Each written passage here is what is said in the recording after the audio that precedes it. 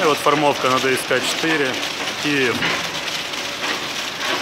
тестирование линии.